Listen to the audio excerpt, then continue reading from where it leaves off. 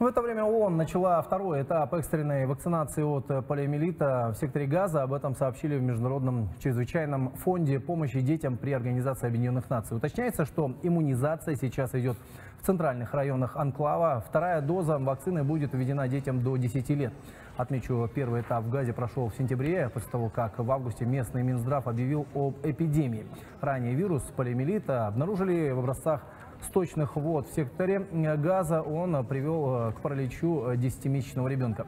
Ранее ЮНИСЕФ сообщал о том, что между сторонами военного конфликта достигнута договоренность о гуманитарных паузах на период проведения вакцинации.